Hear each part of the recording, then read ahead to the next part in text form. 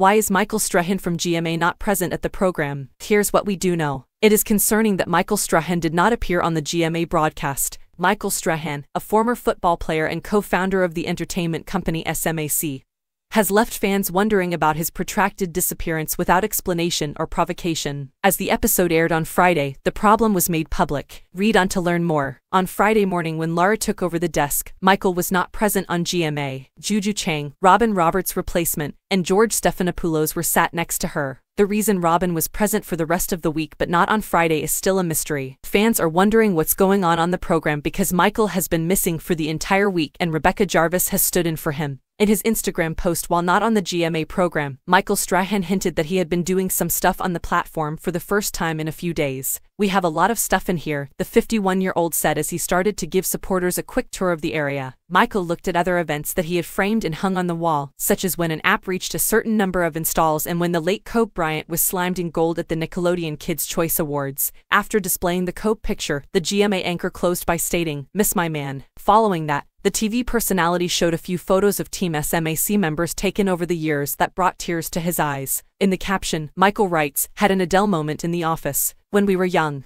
he went through his old office supplies as he visited old recollections, which brought back many memorable occasions from the past. A current location update for him. As a result of his statement on Friday that he will shortly start hosting his ABC game program, The $100,000 Pyramid, According to the joint post from Michael and SMAC Entertainment, the show would return in a few months. In the picture, Michael was as smart as usual, donning a dark gray suit, a pink patterned shirt, and a floral pattern tie.